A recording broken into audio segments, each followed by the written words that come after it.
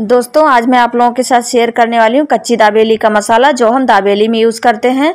ये इंस्टेंट बनने वाला है, पाँच मिनट में बन जाता है ये मसाला। तो चलिए हम मसाला बनाना स्टार्ट करते हैं। नमस्कार दोस्तों, आपका मेरे YouTube channel Sartaj kitchen and blog में आपका बहुत बहुत स्वागत है।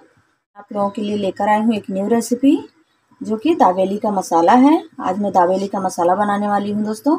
तो चलिए मसाला बनाना स्टार्ट करते हैं। मसाला बनाने के लिए मैंने लिया है धनिया, सौंफ और ये दालचीनी है दो तीन टुकड़ा और तीन चार लौंग है दो तीन छोटी इलायची और एक बड़ी इलायची है और एक काश्मीरी मिर्चा है और ये तेज पत्ता है और ये तिल है, सफ़ेद तिल, देख सकते हैं। अभी एक साथ हम इसे रोस्ट कर लेंगे। इस तरह से हम साथ में सारा रोस्ट कर लेंगे।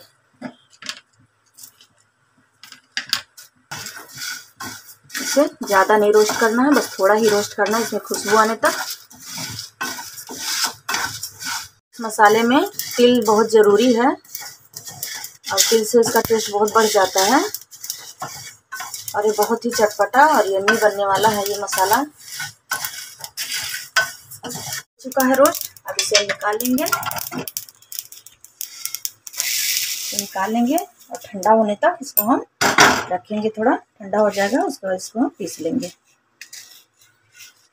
वो मसाला ठंडा हो चुका है, अब इसे हम ग्राइंड करेंगे। मैंने मिक्सर में से ले लिया है। अब इसमें हम डालेंगे नारियल का पाउडर, जो कि जिसे बुरादा कहते हैं हम। और इसमें लेंगे दो बड़े चम्मच काश्मीरी लाल मिर्च पाउडर। इससे कलर बहुत अच्छा आएगा। और आमचूर पाउडर लेंगे। अनुसार काला नमक।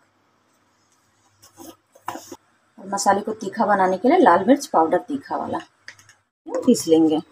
हो गया है। अब इसमें हम डाल देंगे दो चम्मच शक्कर, मीठा बनाने के लिए इसको। थोड़ा खट्टा मीठा होना चाहिए ना।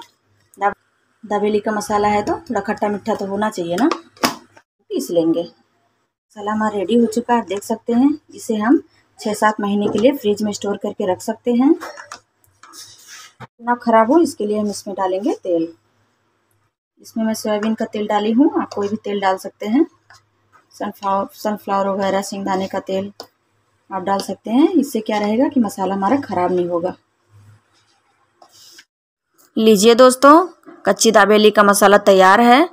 मसाला कैसा लगा आप ज़रूर कमेंट में बताना।